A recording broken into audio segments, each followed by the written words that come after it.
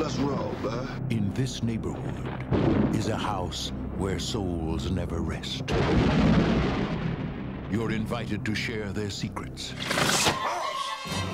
I've been waiting for you boys. You're invited to share their tales. Unless, of course, you're scared. Tales of madness. of revenge. The dolls don't want you there. They want reparation. Of horror. He thinks he needs to kill the monster. Now, your most terrifying nightmare and your most frightening reality are about to meet. On the streets. And this is a trip, homie. I don't need nothing from no house of dead folks, okay? Death, it comes in many strange packages. The producer of Menace to Society and executive producer Spike Lee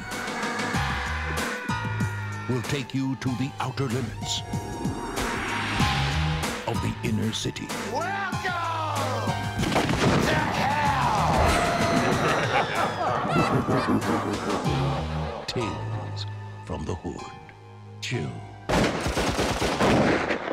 Or be chewed. Hey, man, I don't need to be hearing this, man. Written and produced by Darin Scott. Written and directed by Rusty Cundieff.